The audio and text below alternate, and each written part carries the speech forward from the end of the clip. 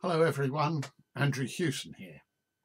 I'm blown away, blown away by your response to our Kickstarter for the Hewson Helpline book. 100% funded in six hours, 125% in 12 hours, and now 200% funded. Completely brilliant. I had to chuckle at the promotional video which Rob put together. Early on, there's the colour image of me standing in front of what looks like a brick wall. The image was printed with the helpline column in the very first issue of Sinclair User. That brick wall was actually the fireplace in our living room, and if I look slightly stunned, that is because I could barely believe that anyone would send a photographer all the way from London just to take a picture of me. And of course, these days, I can't help noticing how young I look then.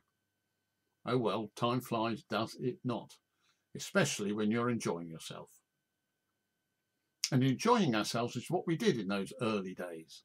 Every month, on a Sunday afternoon for some reason, I would read the letters that had arrived, no emails or social media of course, and pick a few to work from for my column. For several years I used an Osborne One portable computer to write and rewrite the column.